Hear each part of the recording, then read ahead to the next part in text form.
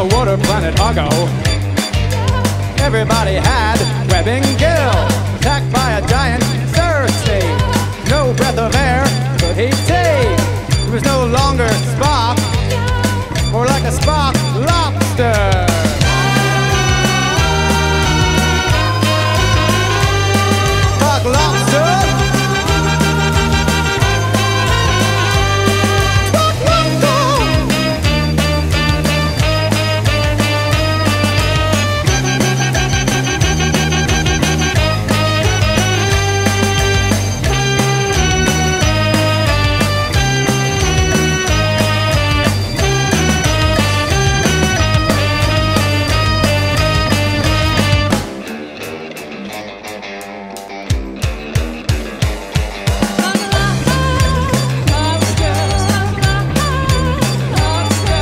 Space hippies on the Enterprise, looking for that Eden prize. Adam wanted a space jam with Spock on Vulcan Lyra Man.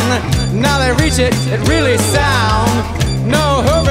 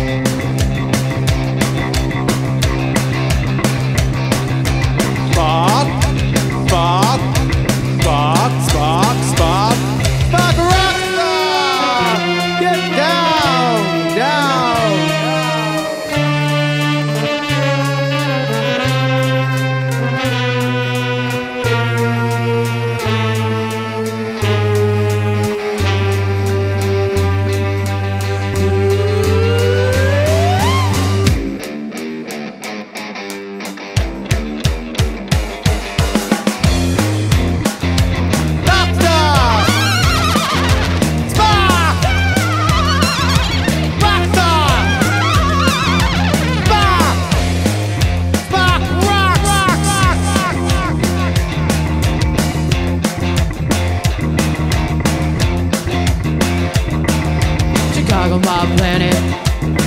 Federation didn't plan it. Everybody's fighting.